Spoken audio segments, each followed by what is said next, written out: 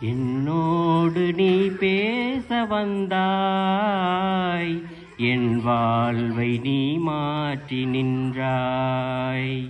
என் தெய்வமே என் தெய்வமே நீ இன்றி நான் இல்லையே உன் நினைவின்றி வாழ்வில்லையே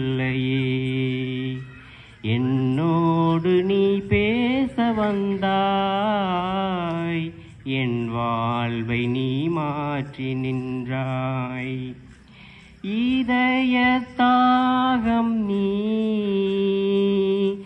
இருளின் தீபம் நீ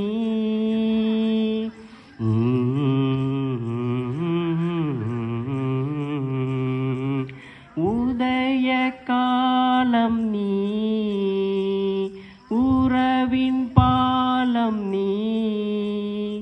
தள்ளாடினான் தடுமாறினேன். கண்மூடினான் கழுவிடினேன்.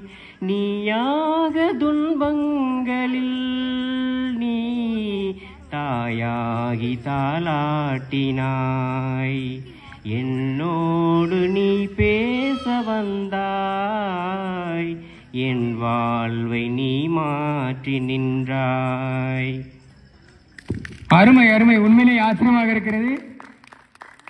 சந்தோஷம். என்னோடு நீ பேச வந்தா என இறைவனை பேச அழைத்தார். இறைவன் அவரோடு பேசியிருக்கிறார். இவரும் இறைவனோடு பேசியிருக்கிறார் என்பதை அவரது பாடலிலே நாம் நன்றாக புரிந்து கொண்டோம்.